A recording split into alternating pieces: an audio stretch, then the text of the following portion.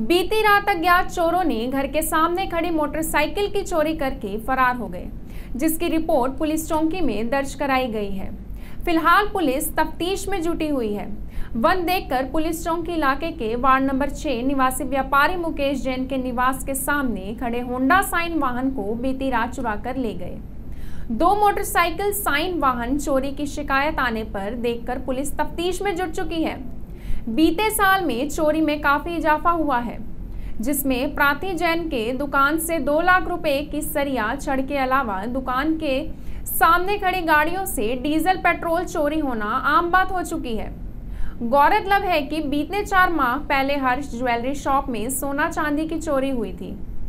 वहीं चोरी करने वाली महिलाओं का फुटेज भी सीसीटीवी कैमरा में रिकॉर्ड होने के बावजूद वे आज तक पुलिस की पकड़ में नहीं आ पाई हैं। यह समझ से परे है। वहीं अब पुलिस की गश्त पर सवाल उठना लाजमी है। मैं मुकेश जैन वार्ड क्रमांक छह, निवासी। बीते रात मेरी मोटरसाइकिल साइन मैंने खड़े किया घर के सामने और घर चला गया। सोया। सोने के बाद सुबह मैं उठ के देखा तो गाड़ी चोरी हो गया था। मैंने पुलिस में रिपोर्ट दर्ज कराया। इसके पूर्व भी, दो साल पूर्व, मेरी महावीर ट्रेडिंग कंपनी में छठ चोरी, लगभग दो लाख रुपए का छठ चोरी हुआ था। छड़ चोरी हुआ था दो लाख रुपए का, उसका भी मैंने रिपोर्ट दर्ज कराया। उसके पूरा मेरे गाड़ी, बड़ी गाड़ियों में डीजल चोरी, पेट्रोल चोरी, ये आम बात हो गई पूरा, लगातार चोरी, पुलिस प्रशासन के ऊपर मेरा विश्वास नहीं रहे मैं आला अधिकारियों से मैं आवेदन कर, रिक्वेस्ट करता हूँ कि निष्पक्ष रूप से जाँच कराए और आरोपी को पकड़कर।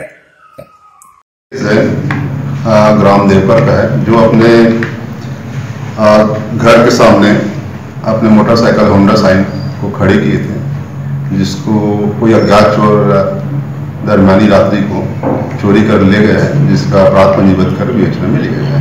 बीते कई चोरी का मामला आया उसके बाद भी अभी तक पुलिस पकड़ से बाहर है आरोपी क्या मामला है? अभी तक कोई कार्रवाई नहीं हो पाई।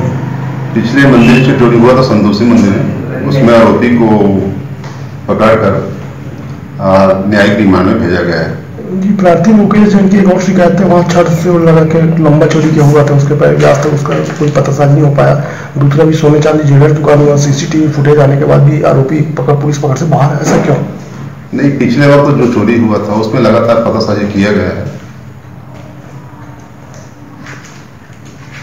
अभी इस चोरी के पर्पज में विवेचना में लिया गया है। जल्दी ही मतलब अज्ञात आरोपी के विरुद्ध तफ्तीश कर पता पतासाजी कर कार्रवाई की जाएगी ऐसे ही लेटेस्ट खबरें पाने के लिए सब्सक्राइब बटन पर क्लिक कर बेल आइकन को दबाएँ।